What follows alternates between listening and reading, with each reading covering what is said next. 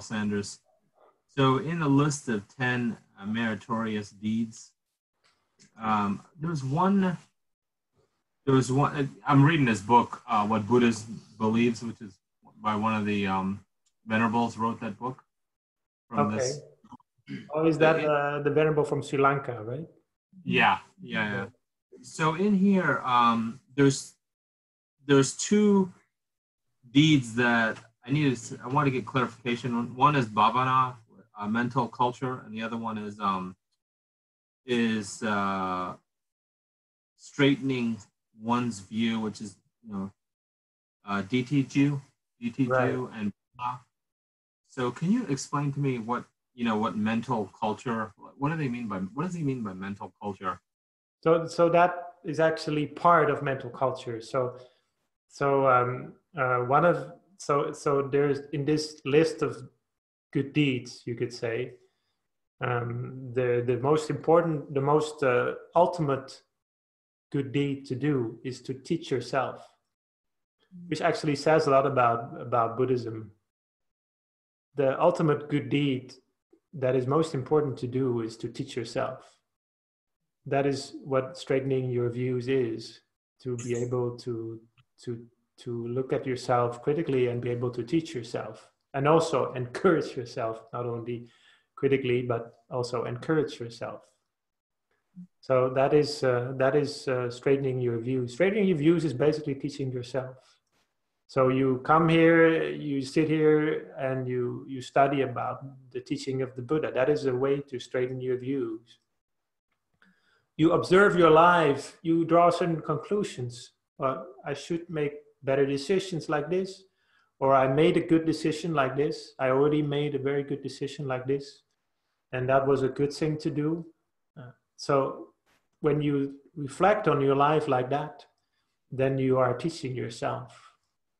So every time uh, so normally Khun Yai uh, the founder of our temple uh, who is actually um, uh, it's actually her birthday coming up. Um, she she actually said that um, every time before we go to sleep, uh, we should reflect on our lives and, and think, what things have I done well? And what things need improvement? Are there any, uh, in terms of our role and in terms of our responsibilities in life, is there anything that we have done right that we should be aware of? And anything that we have done wrong that we should improve on? And she would do it like this every evening before she went to bed. And if you if you uh, study a little bit about uh, many, you know, you if you read read up a bit, I mean, there's there's a lot of people who have this habit that I'm uh, that I've heard of. It's not only Khun Yai. There were there were other people as well in the West that had this habit of reflecting on their lives in a moral and spiritual sense every time. Ben Franklin. I think Ben Franklin did that. Yes. Yes. Ben Franklin. Yeah. I th- I think uh, Ben Franklin. You said. Ben Franklin. Right. Right. Yeah. Yeah. I think I think he also did that. Uh, though it was I think it was mostly in the the first part of his life. yeah. But. Uh, yeah, that, that's actually uh, that's actually a very good uh, good uh, thing, you know, to to reflect on uh, your life every day. And uh, so, mental culture is that, but it also mental culture is also uh, about doing meditation, about just coming and studying or or reading about good teachings, for example, Buddhist teachings, and um, um, there's uh, also, um, well, there, there's, um, for example, chanting can also be a way to mentally cultivate your mind because it's a, uh, it helps you to meditate better and it also uh, helps you to get closer to the, the meaning of the teaching of the Buddha or become more open to the teaching of the Buddha.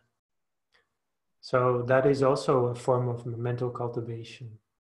So bhavana it means uh, any uh, or any good deed that is aimed at wisdom, uh, understanding, uh, better uh, teaching yourself. Yeah. Thank you. Yeah, you're welcome. Yeah. I have a question.